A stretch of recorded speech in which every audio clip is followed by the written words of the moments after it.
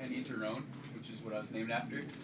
Um, and it, that's just a little cabin on the, the western side of the Alaska Range. And then from there, we go through kind of central central Alaska, we call it, where there's a good amount of snow. Or on the right on the western side of the range, though, the wind comes down off the mountains, and so it blows pretty much all the snow clean off. And so every year there's at least a section of around 20 or 30 miles where we're going over bare ground, over tundra, rocks, and just ice and gravel. So that's always an exciting section. Um, but then we, we get into kind of central, the, the central region, I guess, um, where if it's going to get cold, that's where it could potentially get the coldest, just because it's so so still, no real big weather patterns moving around as much. And then we get onto the Yukon River.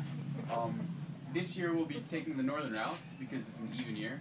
In odd years we take the southern route, and then we'll get onto the Yukon River at Ruby, and travel down the Yukon to get to Kaltag. And that it, it can be really windy on the Yukon, but it can also be I mean, it can be, you know, anything. You never know until you're out there. But um, it can also be warm and soft and slow, or it can be just a perfect trail.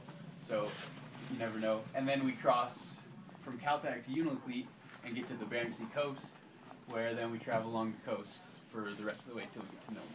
And you you think, oh, we're on the coast now, um, so it must be, you know, flat and easy going from here on out. Well, really that's there's a lot of hills. There's pretty hilly sections on the coast, even though you think, okay, well, the coast, okay, we're going right, right along the beach, but we, we do cross over lots of hills, um, like from Unalakleet to Shaktoolik, and then from Koyuk to Elim, there's, there's pretty good sized hills, and then the last section is kind of rolling hills, but by that time they seem really big. Um,